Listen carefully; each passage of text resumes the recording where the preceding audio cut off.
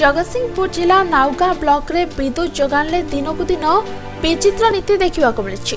ଗତ କିଛି ଦିନ ତଳେ ନାଉଗାଁ ବ୍ଲକ ଛକ ଉପରେ ବାଉଁଶ ଖୁଣ୍ଟି ସାହାଯ୍ୟରେ ବିଦ୍ୟୁତ୍ ଯୋଗାଣ କରାଯାଉଥିବା ଖବର ପ୍ରକାଶିତ କରାଯାଇଥିଲା।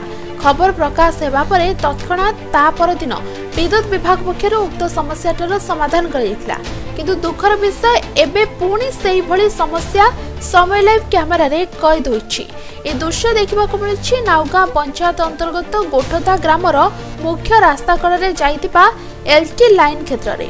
ଯେଉଁଠିକି ଏଲ୍ଟି ଲାଇନ୍କୁ ସାହା ବାଉଁଶ ଖୁଣ୍ଟି। ସବୁଠାରୁ ଗୁରୁତ୍ୱପୂର୍ଣ୍ଣ କଥା ହେଉଛି ଏ ଲାଇନ୍ ତାର ତଳେ ଛାଳ ଚପର ଘର ରହିଅଛି। ଯେଉଁଥିରେ କି ଲୋକମାନେ ବସବାସ ମଧ୍ୟ କରୁଛନ୍ତି। ତାହା ସହିତ ଗୋରୁ ଗାଈମାନେ ମଧ୍ୟ ବନ୍ଧା ହେଉଛନ୍ତି ଏହା ସହିତ ନାଉଗାଁ ମୁଖ୍ୟ ରାସ୍ତାରେ ସମାନ ସ୍ଥିତି ମଧ୍ୟ ଦେଖିବାକୁ ମିଳୁଛି। କିନ୍ତୁ ଦୁଃଖର ବିଷୟ ବିଦ୍ୟୁତ୍ ବିଭାଗର ଆଜି ପର୍ଯ୍ୟନ୍ତ ଦୃଷ୍ଟି ପଡ଼ୁନାହିଁ।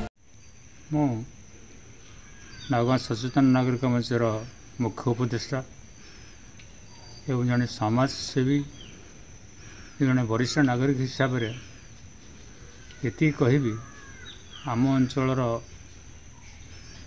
ବିଦ୍ୟୁତ୍ ବିଭାଗରେ ଅବହେଳା ଯୋଗୁଁ ଅତୀତରେ ଅନେକ ଦୁର୍ଘଟଣା ଘଟିଛି।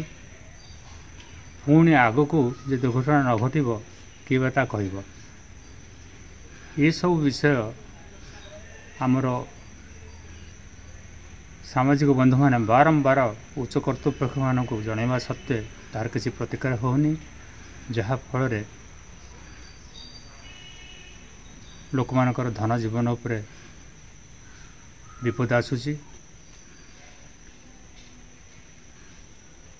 ସେ ବିଭାଗର କର୍ମଚାରୀମାନେ ତାଙ୍କ କାର୍ଯ୍ୟରେ ଅବହେଳା ଥିବାରୁ ଏହାର ଜନ ଅସନ୍ତୋଷ ବଢ଼ିବାରେ ଲାଗିଛି ଏଥିପାଇଁ ବିଭାଗୀୟ କର୍ତ୍ତୃପକ୍ଷମାନେ ଧ୍ୟାନ ଦେବେ ବୋଲି ମୁଁ ଅନୁରୋଧ କରୁଛି ବାଉଁଶ ଖୁଣ୍ଟିକୁ ତୁରନ୍ତ ହଟାଯାଇ ଜନଜୀବନକୁ ସୁରକ୍ଷା ଦେବା ପାଇଁ ନାଉଗାଁ ସଚେତନ ନାଗରିକ ମଞ୍ଚର ମୁଖ୍ୟ ଉପଦେଷ୍ଟା ରବୀନ୍ଦ୍ର ପଟ୍ଟନାୟକ ଦାବି କରିଛନ୍ତି ଜଗତସିଂହପୁରରୁ ଦେବଜ୍ୟୋତି ମହାନ୍ତିଙ୍କ ରିପୋର୍ଟ Summer Lake.